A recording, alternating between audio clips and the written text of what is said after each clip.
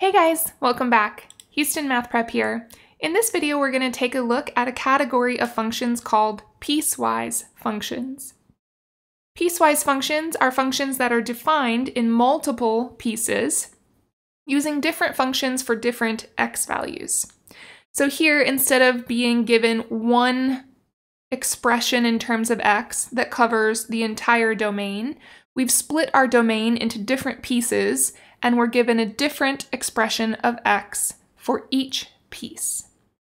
Now, here in this ex example, I've got a piecewise function that only has two pieces.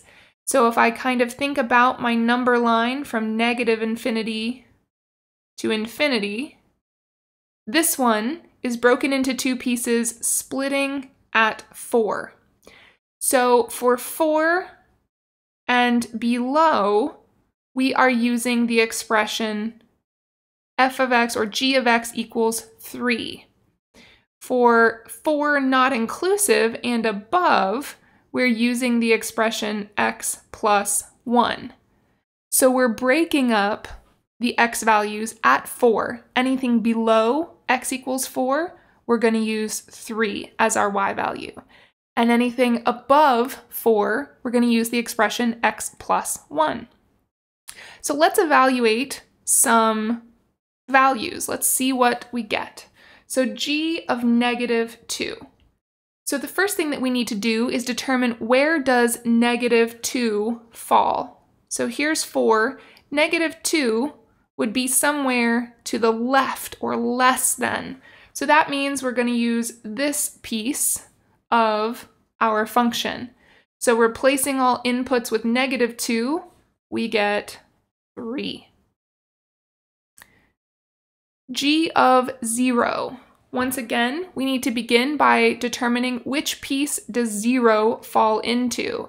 So thinking about our number line, 0 would be somewhere about here on the number line, which means that we would again be using this piece of our piecewise function. So g of 0 would be 3.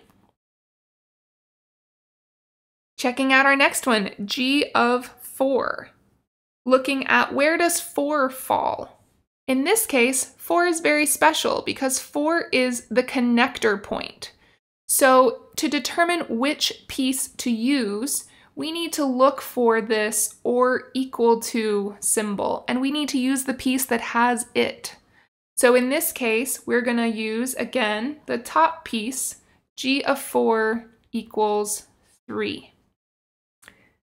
And last but not least, G of 7. So taking a look at where 7 falls on our number line, 7 would fall somewhere over here. So we're now going to use this second piece, since now we are above 4, and get that g of 7 says to replace all the x values with 7. So that's 7 plus 1, or 8. So g of 7 equals 8. So when you're working to evaluate piecewise functions, begin each expression by figuring out which piece of the function do you need to be working with. Now, another thing we might want to do with piecewise functions is we might want to graph them. So let's take a look at this g of x and figure out how can we graph this function. Well, really, all we need to do is graph each piece separately connecting at wherever they are defined or wherever the split is. So in this case, anywhere to the left of 4, we're going to graph g of x equals 3.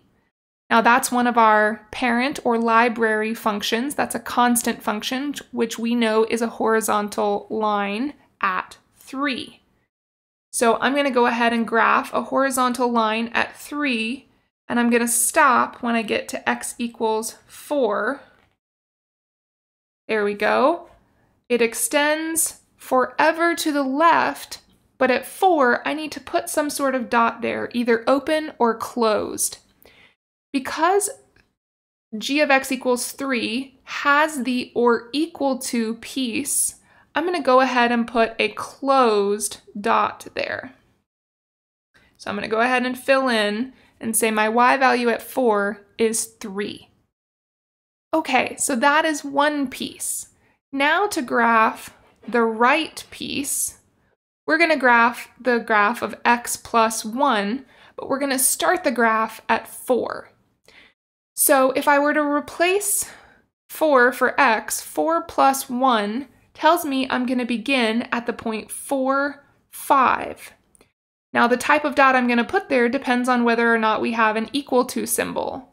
Here we do not, so I'm going to put an open circle at the point 4, 5, and then I'm going to continue the graph to the right using the definition x plus 1.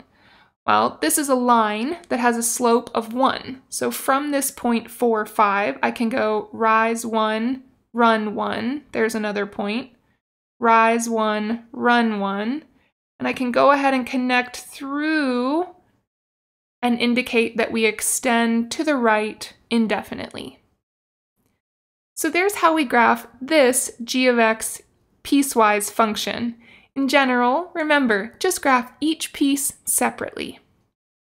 Alright guys, that does it for this video on piecewise functions. We'll catch you in the next one.